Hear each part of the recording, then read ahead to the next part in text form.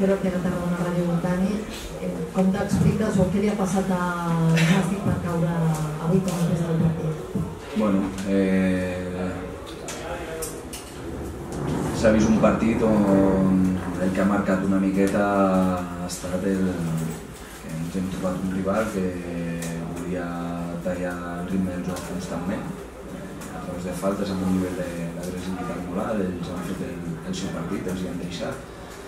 Crec que la primera meitat eh, ha, estat, ha estat bona, hem tingut joc, hem tingut eh, continuïtat, hem estat a camp rival, sí que és cert que per, el número de cops que hem arribat a tres quarts de camp, a vegades eh, per falta de precisió en l'última passada i a vegades per, per presa de decisions, creiem que hem exigit eh, poc al seu porter per, per el perill que hem generat. Potser havíem d'haver tret algun tir llunyà més, com el del final de la primera part de Jaume que, que ha fregat el pal, eh, i, i no intentar aquestes últimes passades, però al final són preses de decisions, són passades que, que no arriben per, per molt poc, que, que si són bones et deixen sota del porter i després al, al segon temps eh, més o menys el mateix fins al segon, o sigui que és cert que després del, del segon hem tingut 10-15 minuts d'imprecisions, eh, ells seguien amb, amb el mateix registre, els hi permetien i,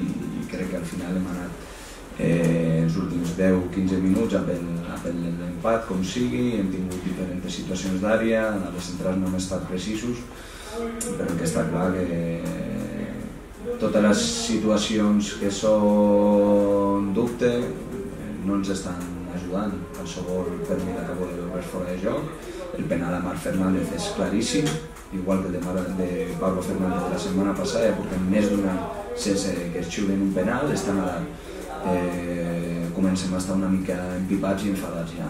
I sí que he de dir que això no, no són excuses, podíem haver fet més per, per guanyar el partit, som el, el màxim responsable, però sí que en partits tan igualats i en una llegada tan igualada, pues, aquesta estadística, pues, pues, la veritat que empipa bastant, perquè hi ha partits que són eh, moments puntuals eh, i aquests moments puntuals eh, ja fa més d'un any que mai són favorables per nosaltres. Ara mateix, què és el que més preocupa?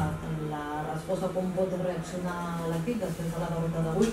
Te preocupa també aquest, aquest entorn o aquestes decisions arbitrals que no estan afavorint el Nasi? L'equip no em preocupa, l'altre sí. L'altre sí, perquè és que fa més d'un any ja, són molts partits. L'equip no, perquè nosaltres estem preparats per aquest últim tram de temporada, sabent que l'escenari d'avui perdre, perdre podia ser no és el que volíem, no treballem per això, però el que és evident que en aquest últim tram de temporada, si guanyes no ser, no ha de ser un moment d'eufòria i ja tenim tot fet, i si empates tampoc, i si perds tampoc, eh, els jugadors estan molt, molt, molt empipats al vestuari, les situacions del, les més cares de Pablo Fernández és, és que és espectacular, s'han portat avui tres cops de colze. I la groga és per ell, per dir, m'han fotut tres cops de colze massa aguanta el Pablo al camp i massa tranquil per, per l'agressivitat que tenen els rivals contra ell. Una altra cosa, què, què li ha passat al Nàstic, que ha passat de ser un dels millors equips eh, locals a no aconseguir guanyar aquí al nou estadi, tot coincidint a més amb les millors entrades de la temporada des del partit del Real Unión des del dia de febrer passat. Bueno, crec que el dia del, del Terol va ser diferent, va ser un mal partit de l'equip on, on el rival va estar millor que nosaltres, el dia del Deport eh, segurament si haguessin estat més eficaços sobretot a la primera part això potser hauria canviat. I avui pues, una miqueta en la mateixa línia però sense acabar de materialitzar aquest tipus d'ocasions. I que crec que a nivell de joc hem, hem estat bé fins a tres quarts, arribant amb claretat potser pues això ho veurem quan repassem el vídeo a, a veure si haguéssim tingut que, que agafar una miqueta més l'opció de finalitzar des de, des de fora perquè per dins, a més a les centrades, també era difícil de fer-se arribar. Sí, Jaume Pérez de Tarragona. Potser és això també una mostra de la realitat que ens trobarem en aquest tram final, una realitat que és molt complicat guanyar, que qualsevol equip serà complicat i que hem de, hem de doncs el que dèiem, no? de, que les victòries costen molt i que s'han de, de, serà difícil, que no és això mirant un objectiu molt, molt pretensiós i que serà difícil que, i que, que s'haurà de suar molt, no? No, és evident, ara ja tothom juga moltíssim, la gent va, va al límit, eh, les victòries seran molt cares i el que nosaltres ens, ens ha d'ocupar ha de ser pues, eh, intentar reposar-nos el més aviat possible, avui com t'he dit passar-ho malament, eh, fotuts també per l'afició perquè per l'hora que era el partit han fet un gran esforç per, per estar-hi, però no queda un altre que demà eh, repassar el partit, veure que, quines coses podem, podem millorar i el següent pues, intentar millorar la nostra versió. David com tu parla David Concha, que ha hagut de sortir, eh, no sé si s'ha recaigut, si té una relació, quina situació té? Sí, el de David Concha ha estat una lesió muscular, ha notat una, una estrabada i quan tinguem les proves veurem, veurem quantes setmanes estarà fora o si són dies. I deixa'm preguntar-te, perquè eh, l'entrenador ha parlat que el Nàstic té unes estructures molt fixes, molt treballades i que sembla que és fàcil controlar si controles aquestes estructures. Ha donat a entendre com que potser li falta algun, alguna xispa que se'n vagi, alguna llibertat? Eh... Pues per tindre tan controlat que tenia com juguem hem arribat amb molta facilitat a tres quarts de camp. Això potser s'ho ha de fer. No. Buenas, Tarragona.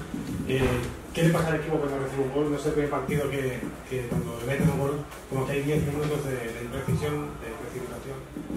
Sí, como comentaba antes, creo que, es algo que, ya nos, nos, ha pasado, hemos intentado de, de, trabajarlo, de hablarlo, de mejorarlo, pero lo que es evidente que de momento no hemos dado con la tecla.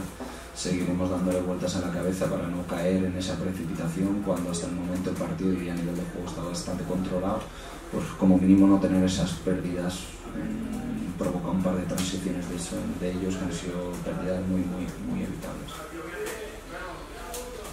¿Condiciona el hecho de haber sido el último jugador que estáis sabiendo que todo el mundo ha ganado y se tenía la presión de ganar solo el No, para nada, para nada. Nos centramos en el día a día, nos centramos en nosotros, todo lo que esté fuera no, no lo podemos controlar, está claro que sí que sabe lo que hacen el resto de equipos, pero es que queda muchísimo y nosotros bastante tenemos que concentrarnos en nosotros. Amb l'última. Sí, Ros, per Digital. Eh, volia preguntar per un altre nom propi. He vist eh, a Alan Godoy marxar amb ajuda dels metges o dels fisioterapeutes del camp. Com està i, i què podria tindre? Bueno, eh, li han fotut un bon cop al, al turmell. Eh, suposo que serà un cop o com a molt més dins veurem si no se l'inflama massa l'estar al vestuari amb gel.